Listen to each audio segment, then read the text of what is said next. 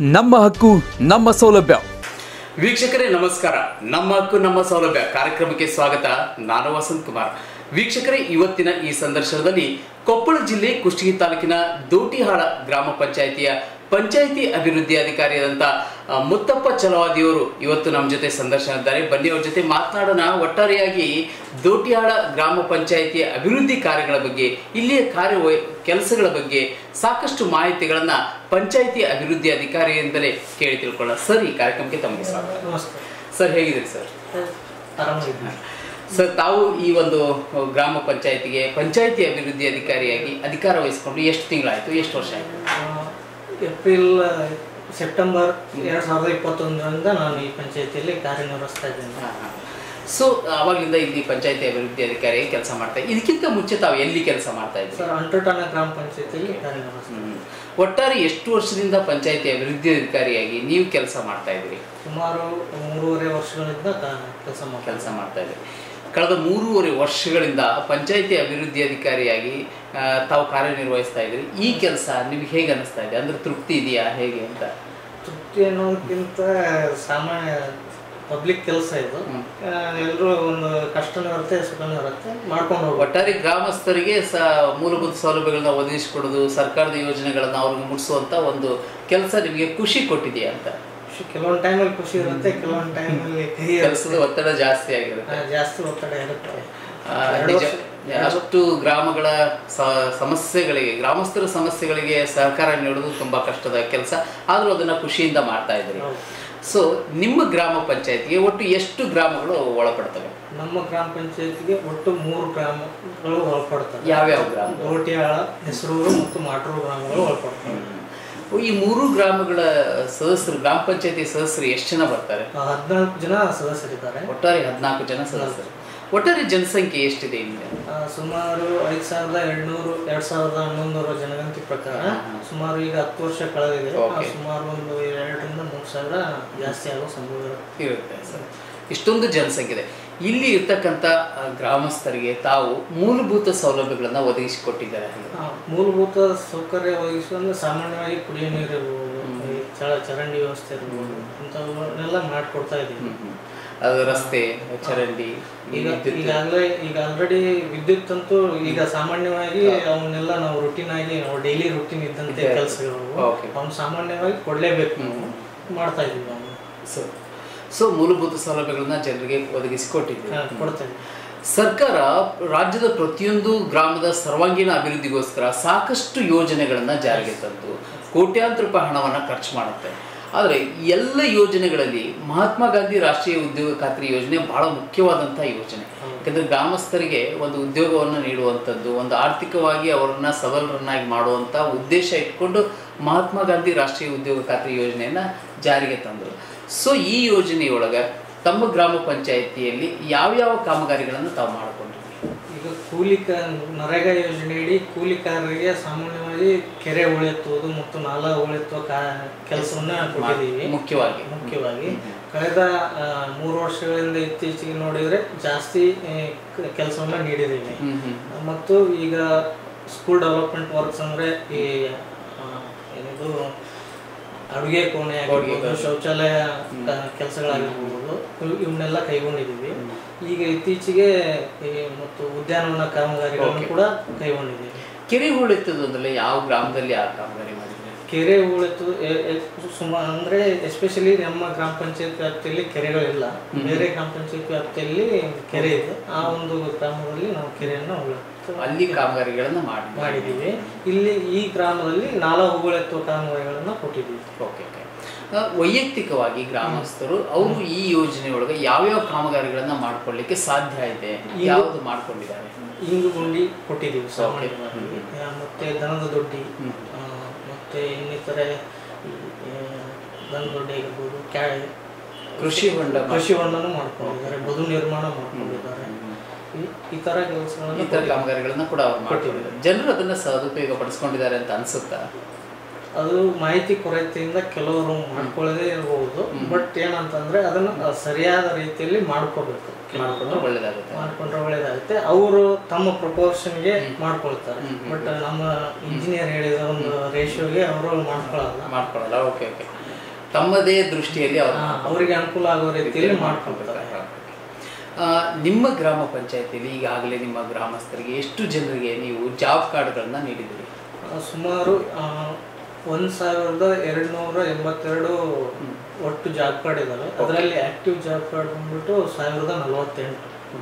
ಒಂದ್ ಸಾವಿರದ ನಲವತ್ತೆಂಟು. ಜಾಬ್ ಕಾರ್ಡ್ಗಳು ಆಕ್ಟಿವ್ ಆಕ್ಟಿವ್ ಜಾಬ್ ಕಾರ್ಡ್ಗಳು ಅಂದರೆ ಕಳೆದ ಮೂರು ವರ್ಷದಿಂದ ಈ ತರ ನೋಡ್ದಾಗ. ನೋಡಿದಾಗ ಆಕ್ಟಿವ್ ಸೊ ಅವರಿಗೆಲ್ಲ ಹಣ ಸಂದಾಯ ಆಗುತ್ತೆ. ಹಣ ಸಂದಾಯ ಆಗುತ್ತೆ. ಎಷ್ಟು ದಿನಕ್ಕೆ ಕೆಲಸ ಮಾಡಿರ್ತಾರೆ ಅವರು? ಎಷ್ಟು ದಿನಕ್ಕೆ ಅವರಿಗೆ ಹಣ ಸಂದಾಯ? ವಿತಿನ್ ಏಟ್ ಡೇಸ್ ಮಾಡಬೇಕಂತ ಕಾನೂನಿನಲ್ಲೇ ಇದೆ.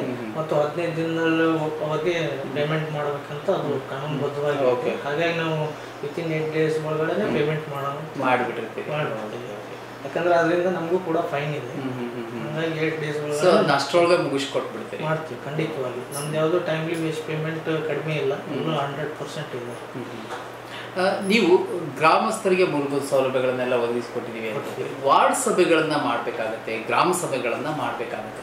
ಯಾವಾಗ ವಾರ್ಡ್ ಸಭೆ ಮಾಡ್ತೀರಿ? ಯಾವಾಗ ಎಷ್ಟು ತಿಂಗಳಿಗೊಮ್ಮೆ ಗ್ರಾಮ ಸಭೆ ಮಾಡ್ತೀರಿ? ಹೇಗೆ ಕರೀತೀರಿ ಜನ ಈಗ ಸಾಮಾನ್ಯವಾಗಿ ತಮಗೆ ಗೊತ್ತಿರುವಂಗೆ ವರ್ಷದಲ್ಲಿ ಎರಡು ಬಾರಿಗೆ ವಾಟ್ಸಪ್ಪನ್ನು ಮಾಡಬೇಕಾಗುತ್ತೆ. ಎರಡು ಬಾರಿನೂ ಕೂಡ ಗ್ರಾಮ ಸಭೆಯನ್ನು ಮಾಡಬೇಕು. ಓಕೆ ವರ್ಷದಲ್ಲಿ. ಈಗ ಏನಾಗಿದೆ ಅಂತಂದರೆ ಸರ್ಕಾರ ವಿವಿಧ ಯೋಜನೆಗಳನ್ನು ಜಾರಿಗೊಳಿಸ್ಬೇಕಂದಾಗ ವಿತಿನ್ ಎ ಪೀರಿಯಡ್ ಅಲ್ಲಿ ಗ್ರಾಮ ಸಭೆ ಮಾಡಿ ಈ ಅಂತ ಈಗ ಏನಾಗಿದೆ ಅಂದ್ರೆ ಸುಮಾರು ಹತ್ತರಿಂದ ಹನ್ನೆರಡು ಗ್ರಾಮ ಸಭೆಗಳು. ಬೇರೆ ಬೇರೆ ವಿಷಯಗಳಿಗೆ ವಿಶೇಷ ಗ್ರಾಮ ಸಭೆಗೆ ಕರಿಬೇಕಾಗುತ್ತೆ. ಹಂಗಾಗಿ ಈಗ ಗ್ರಾಮ ಸಭೆ ವರ್ಷಕ್ಕೆ ಎರಡು ಅನ್ನೋದು ಬಿಟ್ಟು ಜಾಸ್ತಿನೇ ಇದೆ ಜಾಸ್ತಿ ಯಾಕಂದ್ರೆ. ಈಗ ಯಾವ್ದು ಕಣಜ ಮಾಹಿತಿ ಕಣಜ ಅಂತೇಳಿ ಅದಕ್ಕೊಂದು ಗ್ರಾಮ ಸಭೆ. ಯಾವ್ದು ಪಂಚಾಯತ್ ರಾಜ್ ದಿವಸಕ್ಕೆ ಅದಕ್ಕೊಂದು ಗ್ರಾಮ ಸಭೆ. ವಸತಿ ಯೋಜನೆಗೆ ಒಂದು ಗ್ರಾಮ ಸಭೆ. ಹೀಗೆ ಹಲವಾರು ಕಾರ್ಯಕ್ರಮಗಳಿಗೆ ಗ್ರಾಮ ಸಭೆನೇ ಒಂದು ಮಾನದಂಡವನ್ನು ಇಟ್ಕೊಂಡಿದ್ದಾರೆ ಸರ್ಕಾರ. ಅದೇ ರೀತಿ ನಾವು ಕೂಡ ನಡೆಸ್ಕೊಂಡು ಹೋಗ್ತಾ ಇದ್ದೀವಿ. ವಾರ್ಡ್ ಸಭೆಗಳನ್ನ ಮಾಡ್ತೀರಿ ಅದಾದ್ಮೇಲೆ ಗ್ರಾಮ ಗ್ರಾಮ ಸಭೆ. ಮಾಡ್ತೀರಿ ವಾರ್ಡ್ ಸಭೆಯಲ್ಲಿ ಆಗಲಿ ಅಥವಾ ಗ್ರಾಮ ಸಭೆಗಳಲ್ಲಾಗಲಿ ಗ್ರಾಮಸ್ಥರು ಕೇಳೋದು ಯಾವಾಗಲೂ ತಮ್ಮ ಸಮಸ್ಯೆಗಳ ಬಗ್ಗೆನೇ ಕೇಳ್ತಾರೆ. ಸರ್ ನಮ್ಮ ಮನೆ ಮುಂದೆ ರಸ್ತೆ ಸರಿಯಾಗಿಲ್ಲ ಮನೆ ಮುಂದೆ ಚರಂಡಿ ಸರಿಯಾಗಿಲ್ಲ ನಮಗೆ ವಿದ್ಯುತ್ ಸಂಪರ್ಕ ಕೊರತೆ ಇದೆ. ಈ ಥರ ಸಮಸ್ಯೆಗಳನ್ನೇ ಅವ್ರು ಹೇಳೋದು ಜಾಸ್ತಿ. ಅವ್ರಿಗೆ ಬೇಕಾಗಿರೋದು ಮೂಲಭೂತ ಸೌಲಭ್ಯಗಳ. ಸೊ ಅಂಥ ಸಮಸ್ಯೆಗಳನ್ನು ಗ್ರಾಮಸ್ಥರು ಸಭೆಯಲ್ಲಿ ಹೇಳಿದಾಗ ನೀವು ಯಾವ ರೀತಿಯಾಗಿ ಕ್ರಮ ತೆಗೆದುಕೊಳ್ತೀವಿ ನಾವು ಅವ್ರಿಗೆ ಗ್ರಾಮ ಈಗ ಸಾಮಾನ್ಯವಾಗಿ ವಾರ್ಡ್ ಸಭೆ ಆಗಿರ್ಬೋದು ಗ್ರಾಮ ಸಭೆ ಆಗಿರ್ಬೋದು ಸಾರ್ವಜನಿಕರು ಪ್ರಶ್ನೆಯನ್ನು ಕೇಳ್ಬೋದು ಹಾಕೋದು ಅದಕ್ಕೇನು ಅಭ್ಯಂತರ ಏನಿಲ್ಲ. ಆದರೆ ಅದನ್ನು ಒಂದು ಸಾಮಾನ್ಯ ಸಭೆ ಅಂತ ಇರುತ್ತೆ. ಅದರಲ್ಲಿ ಎಲ್ಲ ಸದಸ್ಯರನ್ನ ಸೇರಬೇಕು ಈ ಥರ ಸಮಸ್ಯೆ ಇದೆ. ಅವ್ರಿಗೊಂದು ಕೆಲಸವನ್ನು ಮಾಡಿಕೊಡ್ಬೇಕಾಗುತ್ತೆ. ಯಾಕಂದರೆ ಅದು ಎಸೆನ್ಷಿಯಲ್ ಕೆಲಸವಾಗಿರೋದ್ರಿಂದ ಅದನ್ನು ಸಾಮಾನ್ಯ ಸಭೆಯಲ್ಲಿ ಹೇಳಿಬಿಟ್ಟು ಅದನ್ನ ಒಂದು ತುರ್ತು ಕೆಲಸವನ್ನು ಮಾಡಿಕೊಡ್ತೀವಿ ಸರ್ಕಾರ ಹಲವಾರು ಯೋಜನೆಗಳನ್ನು ಜಾರಿಗೆ ತರುತ್ತೆ ಅಂತ ಆಗಲೇ ಹೇಳಿದೆ. ಅದ್ರ ಜೊತೆಯಲ್ಲಿ ಇನ್ನೊಂದು ಯೋಜನೆ ಮುಖ್ಯವಾಗಿರುತ್ತೆ. ಅದು ಜಲಜೀವನ ಮಿಷನ್ ಯೋಜನೆ ಕಾಮಗಾರಿ. ಕೇಂದ್ರ ಸರ್ಕಾರ ಮತ್ತು ರಾಜ್ಯ ಸರ್ಕಾರ ಎರಡರ ಸಂಯುಕ್ತ ಆಶ್ರಯದಲ್ಲಿ ಅನುದಾನದಲ್ಲಿ ಜಲಜೀವನ ಮಿಷನ್ ಯೋಜನೆ ಕಾಮಗಾರಿ. ಮನೆ ಮನೆಗೂ ಗಂಗೆ ಅನ್ನೋ ಒಂದು ಟೈಟ್ಲ್ ಒಳಗೆ ನಮ್ಮ ಪ್ರತಿಯೊಂದು ಮನೆಗಳಿಗೂ ಕೂಡ ನಳ ಜೋಡಣೆ ಮಾಡುವಂಥ ಒಂದು ದೊಡ್ಡ ಕಾಮಗಾರಿ. ಸೊ ಆ ಕಾಮಗಾರಿ ನಿಮ್ಮ ಗ್ರಾಮ ಪಂಚಾಯತಿ ವ್ಯಾಪ್ತಿಯ ಗ್ರಾಮಗಳಲ್ಲಿ ಹೇಗೆ ನಡೀತಾ ಇದೆ ಕಾಮಗಾರಿ? ಈಗ ನಮ್ಮ ಗ್ರಾಮ ಪಂಚಾಯತ್ ವ್ಯಾಪ್ತಿಯಲ್ಲಿ ಹೆಸರೂರು ಗ್ರಾಮದಲ್ಲಿ as per D P A ಪ್ರಕಾರ ಡಿ ಪಿ ಆರ್ ಪ್ರಕಾರ ಒನ್ ಫಾರ್ಟಿ ಏಟ್ ಮನೆಗಳಿಗೆ ಸ್ಯಾಂಕ್ಷನ್ ತಗೊಂಡಿದ್ರು ಅವರು. ಒನ್ ಫಾರ್ಟಿ ಏಟ್ ಮನೆಗಳಿಗೂ ಕೂಡ ನಲ್ಲಿಗಳ ಸಂಪರ್ಕವನ್ನು ಕೊಟ್ಟಿದ್ದಾರೆ. ಆದರೆ ಸಿಮೆಂಟ್ ಏನು ರೆಸ್ಟೋರೇಷನ್ ಮಾಡಿಲ್ಲ. ಮತ್ತು ಡಿ ಬಿ ಒ ಟಿ ಏನು ಸಪ್ಲೈ ಮಾಡುತ್ತೆ ನೀರು ವಾಟರ್ ಸಪ್ಲೈ ಅದು ಕೂಡ ಕಂಟಿನ್ಯೂಸ್ ಆಗಿದೆ. ಹಾಗೆಯೇ ಮಾಟೂರು ಗ್ರಾಮದಲ್ಲಿ ಒಟ್ಟು ಅರವತ್ತೊಂದು ಮನೆಗಳ ಕೊಟ್ಟಿದ್ದೀವಿ ಡಿ ಪಿ ಆರ್ ಬಟ್ ಅವ್ರು. ಫಾರ್ಟಿ ಏಟ್ ಮನೆ ಡಿ ಪಿ ಆರ್ ಪ್ರಕಾರ ಫಾರ್ಟಿ ಏಟ್ ಮಾಡಿದ್ದಾರೆ. ರಿಮೈನಿಂಗ್ ಕೂಡ ಮಾಡ್ಬೇಕು ಅಂದ್ರೆ ಅಪ್ರೂವಲ್ ತಗೊಂಡು ಮಾಡ್ಬೇಕಂತ ಹೇಳ್ತಾರೆ.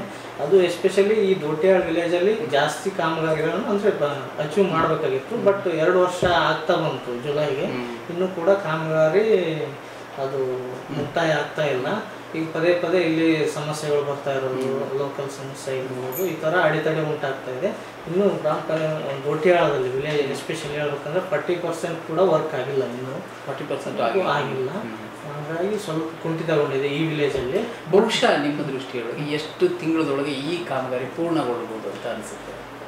ಈಗ ಈ ದೊಟ್ಟಿಯಾಳ ವಿಲೇಜ್ ಅಲ್ಲಿ ನೋಡಿದ್ರೆ ಇನ್ನೂ ಒಂದು ವರ್ಷ ಹೋದ್ರು ಮುಗಿಯುತ್ತ ಅಂತ ಅನಿಸ್ಬೋದು. ಒಂದ್ ವರ್ಷನೂ ಒಂದು ವರ್ಷ ಬೇಕು. ಆದ್ರೂ ಬೇಕು. ಏನಾಗಿದೆ ಅಂತಂದ್ರೆ ಜೆ ಜೆ ಎಂ ಕಾಂಟ್ರಾಕ್ಟರ್ಗಳು ತಮ್ಮ ಅಧೀನದ ಸಬ್ ಕಾಂಟ್ರಾಕ್ಟರ್ಗಳಿಗೆ ಕೆಲಸವನ್ನ ನಿರ್ವಹಿಸ ಕೊಟ್ಟಿರೋದ್ರಿಂದ ಇದು ಡಿಲೇ ಆಗ್ತಾ ಇದೆ. ಹೀಗಾಗಿ ಸ್ವಲ್ಪ ಸಮಸ್ಯೆ ಇದೆ ಅಷ್ಟೇ. ಯಾಕಂದ್ರೆ ಕಮ್ಯುನಿಕೇಶನ್ ಗ್ಯಾಪ್ ಇದು ಇಂಪ್ಲಿಮೆಂಟ್ ಏಜೆನ್ಸಿನೇ ಬೇರೆ ಇಲ್ಲಿ ದೂರ್ ಕೊಡೋದು ಬೇರೆ ಏಜೆನ್ಸಿಗೆ ಯಾಕಂತಂದರೆ ದೂರ್ ಕೊಡೋದು ನಮ್ಮಲ್ಲಿ ದೂರ್ ಕೊಡ್ತಾನೆ ನಾವು ಅವ್ರಿಗೆ ಯಾವುದೇ ರೀತಿಯ ಕ್ರಮ ತಗೊಳಕ್ಕೆ ಅಧಿಕಾರ ಇರೋದಿಲ್ಲ. ನಾವು ಅವ್ರಿಗೆ ತಿಳಿ ತಿಳಿಸ್ಬೋದು ಮೇಲಾಧಿಕಾರಿಗಳಿಗೆ. ಆದ್ರೆ ಅಲ್ಲಿಂದ ಯಾವ ಕ್ರಮ ಆಗಿದೆ ಅಂತ ನಮ್ಗೆ ಗೊತ್ತಿಲ್ಲ. ಸರ್ಕಾರ ಹಲವಾರು ಯೋಜನೆಗಳನ್ನ ಜಾರಿಗೆ ತರುತ್ತೆ ಕೋಟ್ಯಾಂತರ ರೂಪಾಯಿ ಹಣವನ್ನು ಖರ್ಚು ಮಾಡುತ್ತೆ. ಅದನ್ನ ಗ್ರಾಮಸ್ಥರಿಗೆ ಮುಟ್ಟಿಸ್ಬೇಕಾಗಿರೋ ಅತಿ ದೊಡ್ಡ ಜವಾಬ್ದಾರಿ ನಿಮ್ಮ ತಲೆ ಮೇಲೆ ಇರುತ್ತೆ ನಿಮ್ಮ ಹೆಗಲ ಮೇಲೆ ಇರುತ್ತೆ. ನೀವು ಅದನ್ನು ಎಲ್ರಿಗೂ ಕೂಡ ಮುಟ್ಟಿಸುವಂಥ ಪ್ರಾಮಾಣಿಕ ಪ್ರಯತ್ನ ಮಾಡಬೇಕಾಗುತ್ತೆ. ಬಟ್ ನಿಮಗೆ ಸಹಕಾರಿಯಾಗಿ ಅಂಗನವಾಡಿ ಕಾರ್ಯಕರ್ತರು ಮತ್ತು ಆಶಾ ಕಾರ್ಯಕರ್ತರು ಸಹಕಾರಿಯಾಗಿರ್ತಾರೆ. ಬಹುಶಃ ಅಂಗನವಾಡಿ ಕಾರ್ಯಕರ್ತರು ಮತ್ತು ಆಶಾ ಕಾರ್ಯಕರ್ತರು ಇರುವೆ ಹೋದರೆ ಸರ್ಕಾರದ ಯಾವ ಯೋಜನೆಗಳು ಗ್ರಾಮಸ್ಥರಿಗೆ ಮುಟ್ಟಲಿಕ್ಕೆ ಸಾಧ್ಯ ಇಲ್ಲ. ತುಂಬ ಕಷ್ಟ ಆಗುತ್ತೆ. ಕೇವಲ ಅಧಿಕಾರಿಗಳಿಂದ ಮನೆ ಮುಟ್ಸೋಕ್ಕಾಗಲ್ಲ.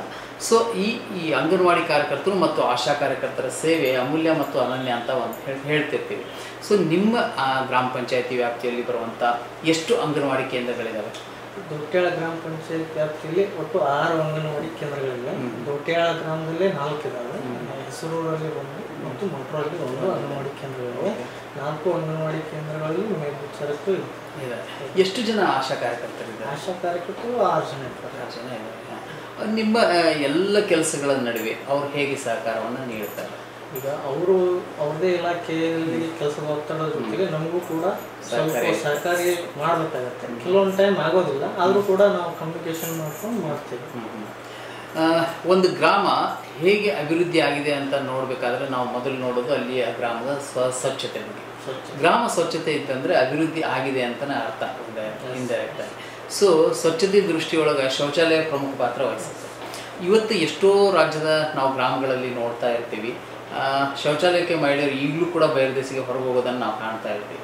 ಬಟ್ ಇಲ್ಲಿ ಹೇಗಿದೆ ಪರಿಸ್ಥಿತಿ? ಈಗ ರೋಟ್ಯಾಳ ಗ್ರಾಮ ಪಂಚಾಯತ್ ವ್ಯಾಪ್ತಿ ಅಂದರೆ ಇದು ಈ ಹಿಂದೆನೆ ಓ ಡಿ ಎಫ್ ಡಿಕ್ಲೇರ್ ಆಗಿದೆ. ಏನು ಮೇನ್ ಆಗಿ ಏನಂತಂದ್ರೆ ಜನರಲ್ಲಿ ಮಾಹಿತಿ ಕೊರತೆ ಯಾಕಂತಂದ್ರೆ ತಾವು ಬೆನಿಫಿಷಿಯರ್ ಆಗಿದ್ದಾರೆ. ಏನು ವೈಯಕ್ತಿಕ ಫಲಾನುಭವಿ ಆಗಿದ್ದಾರೆ ಅವರು ಬಳಕೆಯನ್ನು ಮಾಡ್ಕೊಳ್ತಾ ಇಲ್ಲ. ಅಂದ್ರೆ ಶೌಚಾಲಯಗಳನ್ನ ಕಟ್ಟಿರ್ತಾರೆ ಬಟ್ ಅದನ್ನ ಉಪಯೋಗ ಮಾಡ್ತಿರಲ್ಲ. ಮಾಡ್ತಾ ಇಲ್ಲ. ನಾವೇನೋ ಒಂದ್ ಎರಡು ಬಾರಿ ತಿಳಿ ಹೇಳಿದಾಗ ಅದ್ರಲ್ಲಿ ಇರ್ತಕ್ಕಂಥ ಅಮೌಂಟೆಡ್ ಮಟೀರಿಯಲ್ ಸ್ಟೋರ್ ಮಾಡಿ ಇಟ್ಟಿರ್ತಾರೆ. ಅದನ್ನ ನಾವು ಒಂದ್ ಎರಡು ಬಾರಿ ಹೋದಾಗ ಹೇಳಿದಾಗ ತಗೋ ತಕೊಳ್ತಾರೆ ಅದನ್ನ. ಆಮೇಲೆ ಮತ್ತೆ ಪುನರಾವರ್ತನೆ ಅವರೇ ಪುನರಾವರ್ತನೆ ಮಾಡ್ತಾರೆ. ಯಾಕಂದ್ರೆ ಸರ್ಕಾರ ಗ್ರಾಮೀಣ ಪ್ರದೇಶದಲ್ಲಿ ಶೌಚಾಲಯಗಳ ಬಗ್ಗೆ ಜಾಗೃತಿ ಮೂಡಿಸ್ಬೇಕಾದ್ರೆ ಕಲಾವಿದರನ್ನ ಅಲ್ಲಿಗೆ ಕಳಿಸಿಬಿಟ್ಟು ಸಾಕಷ್ಟು ಜಾಯ ಜಾಗೃತಿಯನ್ನ ಮೂಡಿಸ್ತು. ಬಟ್ ಇಲ್ಲಿ ಹೇಗೆ ಆಯ್ತು? ಕಲಾವಿದರು ಇಲ್ಲಿ ಇಲ್ಲಿ ಕಲಾ ತಂಡಗಳು ಬಂದು ಈ ವೈಯಕ್ತಿಕವಾಗಿ ಶೌಚಾಲಯದ ಬಗ್ಗೆ ಆಗಿರ್ಬೋದು ಸ್ವಚ್ಛತೆ ಬಗ್ಗೆ ಆಗಿರ್ಬೋದು ಕೂಡ ಕಾರ್ಯಕ್ರಮಗಳನ್ನು ಹಮ್ಮಿಕೊಂಡಿದ್ದಾರೆ. ಲೋಟ್ಯಾಳ ಗ್ರಾಮದಲ್ಲಿ ಮತ್ತು ಹೆಸರು ಗ್ರಾಮದಲ್ಲಿ ಕೂಡ ಮಾಡಿದ್ದಾರೆ. ಪ್ರಸಕ್ತ ನಿಮ್ಮ ಹದಿನೈದನೇ ಹಣಕಾಸಿನ ಯೋಜನೆ ಒಳಗೆ ತಮ್ಮ ಗ್ರಾಮ ಪಂಚಾಯತಿಗೆ ಒಟ್ಟು ಎಷ್ಟು ಅನುದಾನ ಬಂತು? ಪ್ರತಿ ವರ್ಷ ಇಪ್ಪತ್ತೆಂಟು ಲಕ್ಷ ಅನುದಾನವನ್ನು ನಿಗದಿ ಮಾಡಿದ್ದಾರೆ. ಅದರಲ್ಲಿ ಸುಮಾರು ಕುಡಿಯುವ ನೀರು ಮತ್ತು ನೈರ್ಮಲೀಕರಣಕ್ಕೆ ಐವತ್ತು ಪರ್ಸೆಂಟ್ ಮೀಸಲಾಗಿದೆ ಅದೇ ರೀತಿಯಿಂದ ಈ ಟ್ವೆಂಟಿ ಫೈವ್ ಪರ್ಸೆಂಟ್ ನಾವು ಎಸ್ಕ್ರೋ ಅಮೌಂಟನ್ನು ತೆಗೆದಿರ್ಬೇಕಾಗುತ್ತೆ. ಅಂಗವಿಕಲರ. ತೆಗೆದಿರ್ಬೇಕಾಗುತ್ತೆ ಹೀಗಾಗಿ ಪ್ರತಿಯೊಂದು ವಿಭಾಗಕ್ಕೂ ಅದರಿಂದ ಸ್ವಲ್ಪ ಕುಡಿಯೋ ನೀರಾಗಿರ್ಬೋದು ನೈರ್ಮಲೀಕರಣ ಸ್ವಲ್ಪ ಹೆಚ್ಚು ಒತ್ತು ಕೊಡ್ಬೇಕು. ಸೊ ನೀವು ಇಷ್ಟೊಂದು ಅಭಿವೃದ್ಧಿ ಕೆಲಸಗಳನ್ನು ಮಾಡಿದಿರಿ ಮತ್ತೆ ಮಾಡ್ತಾನೂ ಇದ್ದರೆ ಮುಂದೆನೇ ಮಾಡ್ತೀರಿ. ಇವಿಷ್ಟೆಲ್ಲ ಮಾಡಬೇಕಾದ್ರೆ ನಿಮಗೆ ಮುಖ್ಯವಾಗಿ ಬೇಕಾಗಿರೋದು ಗ್ರಾಮಸ್ಥರ ಸಹಕಾರ ಮತ್ತು ಜನಪ್ರತಿನಿಧಿಗಳ ಗ್ರಾಮ ಪಂಚಾಯತಿ ಸದಸ್ಯರ ಸಹಕಾರ ನಿಮಗೆ ಬಹಳ ಮುಖ್ಯ ಆಗುತ್ತೆ. ಹೇಗಿದೆ ನಿಮ್ಮ ಸಂಬಂಧ? ಈಗ ಹೇಳ್ಬೇಕಂದ್ರೆ ಗ್ರಾಮಸ್ಥರ ಸಹಕಾರ ಮುಖ್ಯ ಮತ್ತು ಗ್ರಾಮ ಗ್ರಾಮ ಪಂಚಾಯತ್ ಸದಸ್ಯರು ಇರಲಿಲ್ಲ ಅಂದ್ರೂ ಕೂಡ ನಾವು ಸಹಕಾರ ಮಾಡ್ಕೋಬೇಕು. ಅನಿವಾರ್ಯ ಅನಿವಾರ್ಯ. ಯಾಕಂತಂದ್ರೆ ಒಂದು ಇಂಪ್ಲಿಮೆಂಟ್ ಆಗ್ಬೇಕಂತಂದ್ರೆ ಅವ್ರ ಸಹಕಾರ ಮುಖ್ಯ. ಇಲ್ಲ ಅಂತಂದ್ರೆ ಅಡೆತಡೆಗಳು ಶುರು ಆಗ್ತವೆ. ಹೀಗಾಗಿ ಅವ್ರ ಸಹಕಾರ ಅತ್ಯಗತ್ಯ ಮಾಡ್ತೀನಿ ಹಿರಿಯ ಅಧಿಕಾರಿಗಳ ಜೊತೆ ಒಡನಾಟ ಹೇಗಿದೆ? ಯಾಕಂದ್ರೆ ನೀವು ಪ್ರತಿಯೊಂದು ಯೋಜನೆಗಳು ಫಸ್ಟ್ ಗೊತ್ತಾಗೋದು ಹಿರಿಯ ಅಧಿಕಾರಿಗಳೇ. ಅವರಿಂದ ನಿಮಗೆ ಮಾಹಿತಿ ಬರುತ್ತೆ ಟ್ರೈನಿಂಗ್ ಇರುತ್ತೆ. ಮೀಟಿಂಗಲ್ಲಿ ಸಭೆಗಳಲ್ಲಿ ಹೇಳ್ತಿರ್ತಾರೆ. ಸೊ ಅವ್ರು ಈಗ ಕೆಲವೊಂದು ಯೋಜನೆಗಳನ್ನು ನೀವು ಗ್ರಾಮಸ್ಥರಿಗೆ ಮುಟ್ಟಿಸ್ಬೇಕಾದ್ರೆ ಸಾಕಷ್ಟು ಸಮಸ್ಯೆಗಳು ಬರೋದು ಸಹಜ. ಗ್ರಾಮಸ್ಥರಿಗೆ ತಿಳಿ ಹೇಳೋಕೆ ಆಗಿರ್ಬೋದು ಅಥವಾ ಅದನ್ನು ಪಾಲನೆ ಮಾಡಬೇಕಾದ್ರೂ ಕೂಡ ಸಾಕಷ್ಟು ಕಾನೂನಾತ್ಮಕವಾಗಿ ಸಮಸ್ಯೆಗಳು ಬರ್ತವೆ ಇಂಥ ಸಂದರ್ಭದಲ್ಲಿ ಹಿರಿಯ ಅಧಿಕಾರಿಗಳೊಂದಿಗೆ ನೀವು ಚರ್ಚೆ ಮಾಡ್ತೀರಿ. ಅವಾಗ ಸಹಕಾರ ಹೇಗಿದೆ? ಸರ್ಕಾರ ಹಿರಿಯ ಅಧಿಕಾರಿಗಳು ಸಾಮಾನ್ಯವಾಗಿ ನಮಗೆ ಬೆನ್ನೆಲುಬಾಗಿ ಬೆನ್ನೆಲುಬಾಗಿ ಇದ್ದಿರ್ತಾರೆ ಅವರು ಕೂಡ ಒಂದು ಕಾನೂನಿನ ದೃಷ್ಟಿಯಲ್ಲಿ ಬೆನ್ನೆಲುಬಾಗಿ ಇರ್ತಾರೆ. ಒಟ್ಟು ಸಹಕಾರ ಸಹಕಾರ ಸರ್ಕಾರ ಇರುತ್ತೆ. ಯಾಕಂತಂದ್ರೆ ಒಂದು ಯೋಜನೆಯನ್ನು ಪರಿಣಾಮಕಾರಿಯಾಗಿ ಮತ್ತು ವೇಗವಾಗಿ ಇಂಪ್ಲಿಮೆಂಟ್ ಮಾಡಬೇಕಂದ್ರೆ ಅವರು ಕೂಡ ಸಹಕಾರ ಕೊಡ್ತಾರೆ. ಕೊಡ್ತಾರೆ. ಕಳೆದ ಒಂದು ಮೂರ್ನಾಲ್ಕು ತಿಂಗಳ ಹಿಂದೆ ರಾಜ್ಯದಲ್ಲಿ ಜಾನುವಾರುಗಳಿಗೆ ಚರ್ಮಗಟ್ಟು ಚರ್ಮಗಂಟು ರೋಗ ಕಾಣಿಸ್ಕೊಳ್ತು. ಬಹಳಷ್ಟು ಗ್ರಾಮಗಳಲ್ಲಿ ದನಕರುಗಳೆಲ್ಲ ಸಾವನ್ನಪ್ಪಿದೆ ಬಟ್ ಇಲ್ಲಿ ಆ ಪರಿಸ್ಥಿತಿ ಹೇಗಿತ್ತು? ನಮ್ಮ ದೊಡ್ಡ ಗ್ರಾಮ ಪಂಚಾಯತ್ ವ್ಯಾಪ್ತಿಯಲ್ಲಿ ಸುಮಾರು ಒಂದು ನಾಲ್ಕು ಕೇಸ್ಗಳು ಕಂಡು ಬಂದಿದ್ದಾವೆ ಕಾಣುವ ಯಾವ ರೀತಿ ಕ್ರಮ ತಗೊಂಡ್ರಿ ಯಾವಾಗ ನಾವು ಏನಂತಂದ್ರೆ ಸ್ವಚ್ಛತವಾಗಿ ಸೋಡಿಯಂ ಹೈಪೋಕ್ಲೋರೈಡ್ ಒಂದು ಕೆಮಿಕಲ್ ಮುಖಾಂತರ ಅದನ್ನು ನಾವು ಸ್ಪ್ರೇ ಮಾಡೋದ್ರ ಮುಖಾಂತರ ಅಲ್ಲಿ ಎಲ್ಲೆಲ್ಲಿ ಅನೈರ್ಮಲೀಕರಣ ಇದೆ ಅಲ್ಲೆಲ್ಲ ಅದನ್ನು ಸಿಂಪಡಿಸೋದ್ರ ಮೂಲಕ ಅದನ್ನು ಹತೋಟಿಗೆ ತರಲಿಕ್ಕೆ ಕ್ರಮ ಕೈಗೊಂಡಿದ್ದೀವಿ.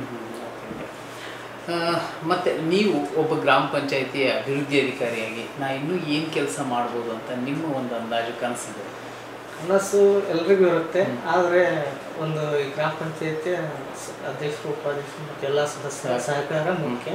ಅವರು ಒಂದು ಸಹಕಾರ ಕೊಟ್ಟರೆ ನಾವು ಮುಂದೆ ಮುನ್ನಡೆ ಇಡಲಿಕ್ಕೆ ಅನುಕೂಲ ಆಗುತ್ತೆ. ಅನುಕೂಲ ಆಗುತ್ತೆ. ನಮಗೆಲ್ಲ ರೀತಿಯ ಕನಸುಗಳಿರ್ತವೆ. ಅವ್ರ ಸಹಕಾರ ಅತ್ಯಗತ್ಯ ನಮಗೆ ಈ ಸಂದರ್ಭದಲ್ಲಿ ನಿಮ್ಮ ಗ್ರಾಮ ಪಂಚಾಯತಿಯ ಸದಸ್ಯರಿಗೆ ಅಥವಾ- ಅಥವಾ ಗ್ರಾಮಸ್ಥರಿಗೆ ಏನು ಹೇಳೋಕ್ಕೆ ಇಷ್ಟಪಡ್ತೀರಿ ಈ ಸಂದರ್ಭದಲ್ಲಿ? ಸದಾ ಗ್ರಾಮ ಪಂಚಾಯತ್ ಸದಸ್ಯರಿಗೆ ಏನು ಹೇಳಂದ್ರೆ ಈಗ ಯಾವುದೇ ಒಂದು ಸರ್ಕಾರದ ಯೋಜನೆಗಳನ್ನು ಅನುಷ್ಠಾನ ಮಾಡಲಿಕ್ಕೆ ಎಲ್ಲರೂ ಕೂಡ ಸಹಕಾರ ಕೊಟ್ಟಿ ಅಂತ ಕೇಳ್ತೀನಿ ಕೇಳಿ ಒಟ್ಟಾರೆ ಸಹಕಾರ ಇದ್ರೆ ಏನು ಬೇಕಾದರೂ ಕೆಲಸ ಮಾಡಬಹುದು ನೋಡಿದ್ರಲ್ಲ ವೀಕ್ಷಕರೇ ಒಟ್ಟಾರೆಯಾಗಿ ದೋಟಿಯಾಳ ಗ್ರಾಮ ಪಂಚಾಯಿತಿಯ ಪಂಚಾಯಿತಿ ಅಭಿವೃದ್ಧಿ ಅಧಿಕಾರಿ ಅಂತ ಮುತ್ತಪ್ಪ ಚಲವಾದಿಯವರು ನಮ್ಮ ಜೊತೆ ಈ ಸಂದರ್ಶನದಲ್ಲಿ ಭಾಗಿಯಾಗಿ ಒಟ್ಟಾರೆ ಇಲ್ಲಿಯ ಕಾರ್ಯವೈಖರಿ ಬಗ್ಗೆ, ಅಭಿವೃದ್ಧಿ ಕಾರ್ಯಗಳ ಬಗ್ಗೆ ಸಾಕಷ್ಟು ಮಾಹಿತಿಗಳನ್ನು ನಮ್ಮ ಜೊತೆ ಹಂಚಿಕೊಂಡಿದ್ದಾರೆ. ಗ್ರಾಮ ಪಂಚಾಯಿತಿಯ ಸದಸ್ಯರ ಮತ್ತು ಗ್ರಾಮಸ್ಥರ ಸಹಕಾರ ಹೊಂದಿದ್ರೆ ನಾವು ಸರ್ಕಾರದ ಎಲ್ಲ ಯೋಜನೆಗಳನ್ನು ಅನುಷ್ಠಾನ ಮಾಡಲಿಕ್ಕೆ ಸಾಧ್ಯ ಆಗುತ್ತೆ. ಸಮರ್ಪಕವಾಗಿ ಅದನ್ನು ಗ್ರಾಮಸ್ಥರಿಗೆ ಮುಟ್ಟಿಸುವಂಥ ಒಂದು ಪ್ರಾಮಾಣಿಕ ಕೆಲಸವನ್ನು ನಮ್ಮ ಕಡೆಯಿಂದ ಮಾಡಲಿಕ್ಕೆ ಸಾಧ್ಯ ಆಗುತ್ತೆ ಅನ್ನೋ ಒಂದು ಮಾತನ್ನು ಹೇಳಿದ್ದಾರೆ. ಹಾಗೆ ಒಟ್ಟಾರೆಯಾಗಿ ಈ ಒಂದು ಗ್ರಾಮ ಪಂಚಾಯಿತಿ, ಎಲ್ಲ ಪಂಚಾಯಿತಿಗಿಂತನೂ ವಿಶೇಷವಾಗಿ ವಿಭಿನ್ನವಾಗಿ ಅದನ್ನು ರೂಪುಗೊಳಿಸಬೇಕು, ನನ್ನಿಂದ ಹೆಚ್ಚು ಇದು ಉಪಯೋಗಕ್ಕೆ ಬರಬೇಕು ಅನ್ನೋ ಒಂದು ಆಸೆಯಿಂದ ಪಂಚಾಯಿತಿ ಅಭಿವೃದ್ಧಿ ಅಧಿಕಾರಿಗಳು ಮಾತನಾಡಿದರೆ ಸರ್, ತಾವು ಈ ಕಾರ್ಯಕ್ರಮಕ್ಕೆ ಪಾಲ್ಗೊಂಡು ತಮ್ಮ ಅಮೂಲ್ಯವಾದ ಸಮಯವನ್ನು ನಮಗೋಸ್ಕರ ಮೀಸಲಿಟ್ಟು ಈ ಸಂದರ್ಶನದಲ್ಲಿ ಭಾಗಿಯಾಗೋದ್ರ ಮೂಲಕ ತಮ್ಮ ಪಂಚಾಯಿತಿಯ ಬಗ್ಗೆ ಸಾಕಷ್ಟು ಮಾಹಿತಿಗಳನ್ನು ನಮ್ಮ ವೀಕ್ಷಕರಿಗೆ ತಿಳಿಸಿಕೊಟ್ಟಿದ್ರಿ. ನಿಮಗೆ ಈ ಕಾರ್ಯಕ್ರಮಕ್ಕೆ ತುಂಬ ಹೃದಯದ ಧನ್ಯವಾದಗಳನ್ನು ಅರ್ಪಿಸ್ತಾ ಇದ್ದೀನಿ. ಸರ್ ಒಟ್ಟಾರೆಯಾಗಿ ಇದಿಷ್ಟು ಇಲ್ಲಿಯ ಒಂದು ಗ್ರಾಮ ಪಂಚಾಯತಿ ಬಗ್ಗೆ ಒಂದು ಮಾಹಿತಿಯನ್ನು ನೋಡಿದ್ರಿ. ಇನ್ನೊಂದು ಸಂದರ್ಶನದಲ್ಲಿ ಮತ್ತೊಂದು ಪಂಚಾಯಿತಿ ಅಭಿವೃದ್ಧಿ ಅಧಿಕಾರಿಯೊಂದಿಗೆ ಸಂದರ್ಶನದಲ್ಲಿ ನಿಮ್ಮ ಮುಂದೆ ಬರ್ತೀನಿ. ಅಲ್ಲಿವರೆಗೂ ನಿರಂತರವಾಗಿ ನೋಡ್ತಾ ಇರಿ. N K S T four ಇದು ನಿರಂತರ ಕಾರ್ಯಪಡೆ. ನಮ್ಮ ಹಕ್ಕು ನಮ್ಮ ಸೌಲಭ್ಯ.